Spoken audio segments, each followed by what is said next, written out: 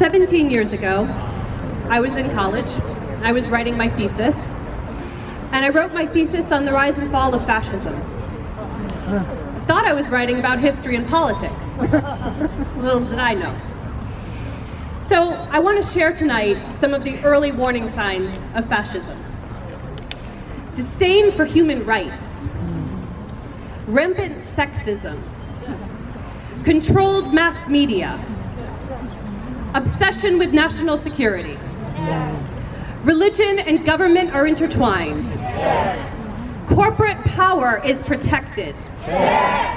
Labor power is suppressed. Disdain for intellectuals in the arts, or intelligence, as it were. Obsession with crime and punishment. Rampant cronyism and corruption. Fraudulent elections. There's a way out of this. The way out of this is we vote. We've talked about that. it's the only way out of this. And I have very little faith in the federal government right now. I saw our congressman today get up and ask over and over and over again that the federal government fund fair elections because we know that there was Russian interference. Do you think the Republicans said yes? No, not yet. 2018 is going to be a fight. It's going to be a fight for the heart and soul of this country.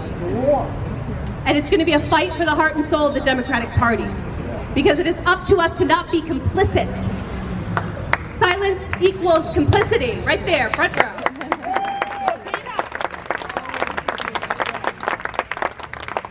And I want to see Massachusetts actually lead. I want to see Massachusetts be on the front lines of this fight.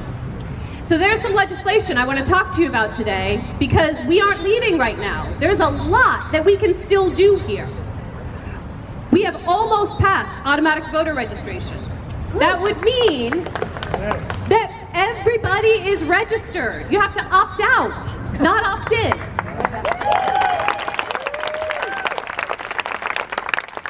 We have early voting in Massachusetts. Our election day this year is September 4th, the day after Labor Day. Do you think that was intended to increase voter turnout? Same day voter registration. Done in other states, not hard. No fault absentee ballots. You can't get to the polls, you should be able to vote absentee. You shouldn't have to have an excuse. And mail-in voter registration, Ma- mail-in ballots, mail-in ballots. Last, these are the things that Massachusetts can do and hasn't do hasn't done, and it's time. And you've all shown up here tonight, so I invite you to all show up at the State House too and demand that these things happen because this is the way forward. This is how we fight back. One state at a time until we take back the House, we take back the White House, and we can stop worrying about the early signs of fascism. Thank you.